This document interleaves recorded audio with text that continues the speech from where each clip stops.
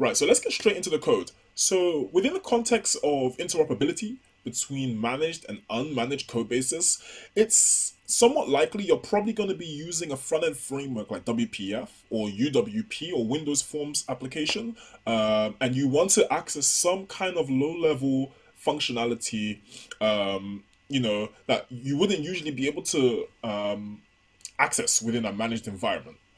So what I'm going to do, or what I've already done rather, is I've gone ahead and I have here a UWP application. So you can go ahead and um, you can follow along with UWP or you can use WPF.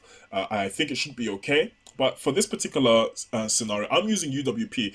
Don't quote me on that though. I'm not too sure about WPF. I've not tested it on that. And the articles I found usually refer to UWP interoping with the Windows RT. So um, just maybe double check. I'll leave some links in the description with some useful documentation just in case. Anyway, let's proceed with the video. So first things first, just gonna adjust my setup a little bit. Actually, let's stay here. So I have a function here called getTime. And this functionality, it calls some Square RT um, class one member in a Square RT namespace. And um, we've gone ahead and given this variable. Let me just unhighlight that. It's a bit hard to read for me. Uh, time class. And we've gone and instantiated this class one um, class. And we're calling a tick function. Now, the thing is, there is no, um, obviously, it's within the scope of the Square RT namespace, and that's where class one is. I was going to say there is no class one um, directly uh, visible in this um, solution directory, but that's because we have here a, a namespace to our runtime code base, and it has within within the runtime code base, there's a class called class one, and we've made an instance of that class, and we've gone ahead and called one of its functions called tick. And what I'm going to do now is I'm going to switch my windows so that you may be able to see another Visual Studio instance. And here I have a um, a WinRTC++ um, project template. Now, I'm hoping that this can load considerably quickly because my computer is pretty slow. I want to just show you how the template looks just in case you're wondering uh, where it is. So you can go ahead and load uh, an instance of Visual Studio. I'm using 2019 edition. Excuse me, 2019 version uh, with the Community Edition. And once this is loaded, the um, Create a New Project template loader, uh, I'm just going to wait a few seconds. Uh, should come any moment now. Excellent. So now that the template manager is here, what we're to do, um, I'm to actually, oh, I've already filtered it to C++, uh, Windows, and uh, UWP.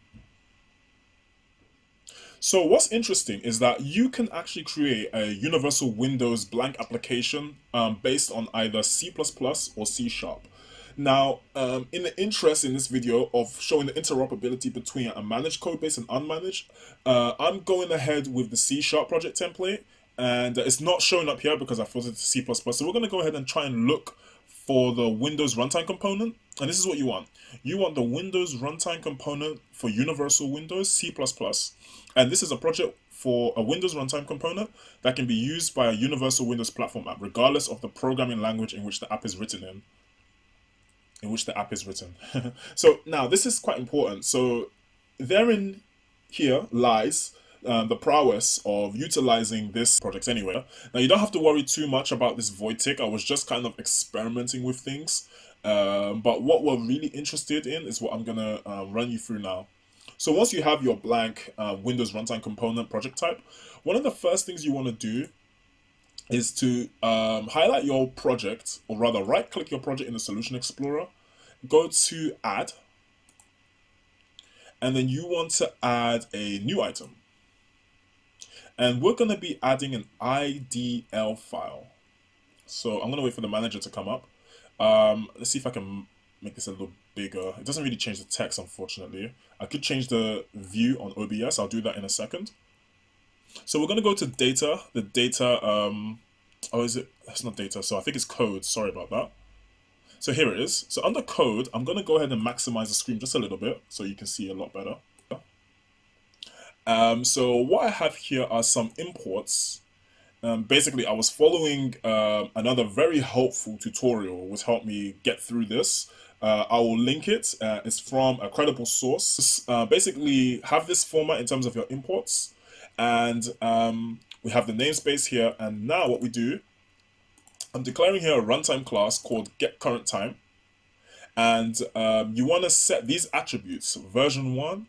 And this UUID is it's a unique identifier for your particular machine. And I will again leave a link in the description or I will describe it in the description how to get your own UUID. Let's just call it UID for now. Um, you basically go into the administrator command prompt um, slash command prompt and you can get it from there. I'll leave the syntax in the description, but you're going to need that for this part. Um, place that in this, um, pass it um, as the UID. And now we want to define an interface. I went ahead and called it I get current time. So we're going to go ahead and create an interface. Um, I defined it as I get current time and it accesses, um, uh, inherits from I inspectable. So we're going to need that. Um, we also have here a function which is defined as get current time which has to match your defined runtime class here of get current time case. I have in my class 1 CPP a really, really simple functionality. I'll leave a link in the description if I can hopefully find because this example I found uh, I found online. It's open source as, as far as I can tell, as far as the definition goes. So uh, should be fine to to just link you to it. A Google search away. Complexity of your CPP logic uh, obviously, your code base is going to vary to this. This is just a, a very simple example of a, of a very simple C++ uh, functionality. Good measure build your UWP application as well. As you can see here, I have a I have the Square RT DLL. And uh, what we're going to do uh, is go and hover over the UWP um, project, uh, as you can see in the Solution Explorer. We're going to go ahead and go to uh, Add, uh, and we're going to go ahead and go to Add Reference what you want to do is hit browse. I'm on browse now. I'm going to hit browse at the bottom there. And at the um, debug directory of your Windows runtime component, after you built it, you should have access to this your project name folder, debug, and then again your project name folder. And inside of it, there should there's a few files here, but what we're interested in is actually the DLL of your project. So in this case, it's called square RT, square runtime.dll. And I'm not going to add it again. Actually, I will. I'll, let me see. Is it showing up? No, it's, it's not. So I'm going to add it again just so you can see how it looks. It pops up here, as you can hopefully make out. And uh, you just make sure it's ticked and then you hit OK. I've already done so, so I'm not going to do that again.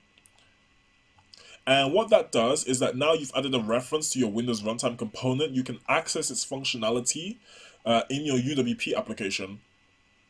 Um, so what it is, now you can use, depending on the nature of your functionality in your Windows component runtime, you're going to be calling different kinds of functions. So in this case, what I did is I, in the constructor of my main window um, class, excuse me, I'm calling get time, and get time is a simple function which calls the square RT um, namespace, and it calls class one. If you recall, class one is a class, a CPP file in the square RT Windows runtime component. Sorry, my mind went blank a little bit there.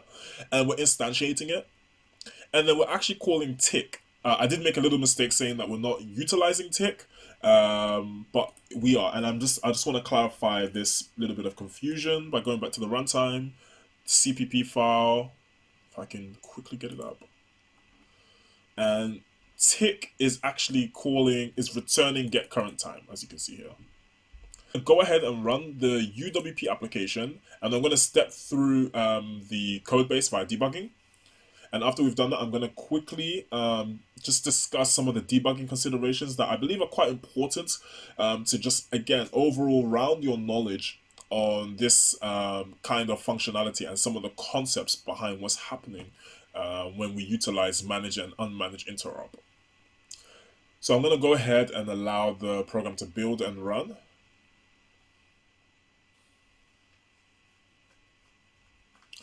Okay, so the application is loading and uh, it's just basically a, um, a, blank window because I haven't put any XAML on, top. But what we're interested is stepping in through the code to just kind of confirm that the C++ logic uh, in the Windows Runtime Component application, or rather project type, is actually being parsed. So we're going to go ahead and just wait a little bit for the application, um, excuse me, for the application to run. And as expected, generally as expected, um, the um, the debugger has stepped through the C++ logic. So it just literally took me straight to a break that I left in the C++ file. And what it's done, if we go to the um, I think this is IntelliTrace. I'm not sure if, if that's the actual name, but I'm to see that we're computing elapsed seconds since I've already stepped through the code because I put a break at the uh, line uh, after the method has finished um, its processing. And we have a value for elapsed seconds. And we have all the other members here, which I can expose. So then we can confirm that um, our C++ logic has been parsed through our UWP application. And we're back in the UWP file. So um, what I'm to do, just I nearly forgot, I'm going to expose, um, I'm to expose this time class um, variable. I don't know how, oh goodness, that's really hard to see, so I'm to have to zoom in once again. I'm to expose this time class, I'm to expose the native view, and I digress somewhat, but I want to just draw your attention to this ABI reference count and um, this weak reference source. And I'm going to use this as a little bit of, um, as a platform to just kind of talk about some of the debugging considerations that we want to have. Um, in this particular instance of the context of this example, you also, you'll probably notice, now that I've drawn your attention to, I'm just going to move the screen. It also says uh, where has it gone? No symbols loaded. I'm just going to stretch that out a little bit. No symbols loaded for VCC. So that's, uh, I believe that's VC core library there. And a, a little bit more data there, app.dll. So we're going to dive into just a little bit. What are symbols? And why it's important to understand symbols uh, within the realms of interoperability. And we're going to look at some articles um, in order to um, base our learning on. So I'm going to go ahead and stop this. So the first thing I want to walk through and help to explain just a little bit, if I can just go up, is this, this topic. Now, what I want to speak about a little bit is here. I'm going to zoom in on the text just a little bit. And I'm just going to briskly go through some of this article. So interop between C++, Win runtime, uh, Windows runtime and the ABI. So this topic shows how to convert between SDK application binary interface ABI and C++ WinRT objects. So um, one thing to note is that we are working on uh, interoperability um, at a binary level. Uh, the binary, the ABI basically um, allows, let me just highlight here, allows various programming languages to interact with an object, regardless of programming language. Client code interaction with a Windows runtime object happens at the lowest level, with client language constructs translated into cores into the object's ABI. So I just wanted to just bring that to your attention as to what's going on when we actually work with uh, Windows Runtime Component and the kind of level it goes to in order to make this for this level of interoperability achievable. I think it's also kind of important to at least consider strong and weak references in C++ because, um, again, my example is very, very simplistic, but as this particular article highlights, as you'll see in this topic, knowing how to manage these references, and that's referring to strong and weak references, um, where was I? Knowing how to manage the strong and weak references correctly can mean the difference between a reliable system that runs smoothly and one that crashes unpredictably. So I thought I would just throw this in this video just so that I can give you a little bit of a head start if you want to do a bit of background reading into how to um, make um, efficient systems with this kind of approach. And there's some examples here that I found quite intriguing. I was going through. Um, link to this in the description. So this is here for wider reading. And finally, I think it's also important. This is a Microsoft developer blog. I believe it is. Uh, but it's definitely it's, it's just an article on the Microsoft Azure DevOps page, and in this particular article, it speaks about symbols. Now, I found this very intriguing because in this article, I'm going to zoom in just ever so slightly. If you don't know what symbols are, um, prior to this article, I'll be I will admit uh, I knew of symbols, but I, I, had a vague understanding as to what they were. But um, this really breaks it down very well, and it actually explains why. If you recall, if you rewind in the video um, where I showed you where it said in the debugger, um, um, symbols not loaded, this sort of seems to explain why. So symbols are a fundamental requirement for debugging and, and other diagnostic tools. Fortunately, in most cases, when you are building and launching your application in VS, Visual Studio, you don't have to think about symbols for your code. Usually this is the case I find with um, like managed environments like C Sharp, uh, UWP, and WPF. However, the odds are that at some point in time, especially when you, as a C Sharp developer, if you are looking to take your your tier of, of of skill to the next level, you probably want to start approaching some of these concepts However, the odds are that at some point in time, you will need to change how symbols load where the debugger looks for them, or we'll need to load symbols from a third-party component, for example, Windows or .NET libraries. So it goes on to explain the basics behind symbols, and um, a symbol is basically, I'll read it out, the exact context of symbol files will vary from language to language, and based on your compiler settings, explained at a high level, they are the record of how compilers uh, how the compiler turns the source code, so the C Sharp logic, C++ logic we write, into machine code that the processor executes.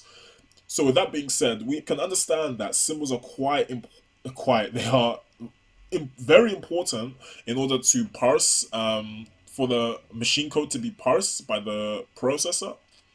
You could kind of consider it the bridge between the code we write uh, at the, in the IDE and the machine code that's executed by the processor itself. And why you need symbols, of course, as we kind of explored, we need symbols in order to parse the machine code.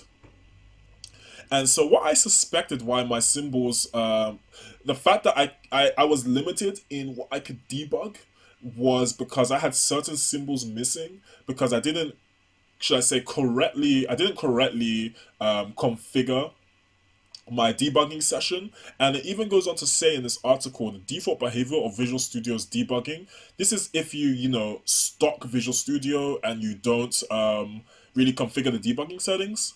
And i found this one quite quite interesting. It actually says the exception uh, let's actually read from here so it gives a bit more context. Visual Studio will try to load symbols for all binaries referred to as modules in the process when the module is loaded and for all modules already loaded when attaching to a process. The, ex the exception to this is when you are debugging managed.NET applications, so UWP, WPF, the debugger will not load um, symbols for any binaries considered not your code when just my code is enabled. Again, uh, this is just to bring to your attention some of the theory that I find is quite um, useful in this particular context and how it can help us, help me, help you, if you're not already at this level, become even better um, .NET developers as we kind of um, enter the realms of not just C Sharp, but harnessing the prowess of unmanaged um, code in order to get more out of a modern framework, i.e. UWP, a, a modern programming language such as C Sharp, and really just get the most out of software development as a whole if, if one does choose to go the .NET route. So I just wanted to go through that. I hope I'm recording. I am, thank goodness. Um, I just wanted to go through this topic. I hope you gained value in this. Uh, a little different to what I usually do, but I might go a little bit deeper into this kind of into this realm of backend uh, with regards to programming because I find it rather fascinating. Um, so that's all there is to this part of the walkthrough. I hope you have a great day. Thanks for watching. Bye bye.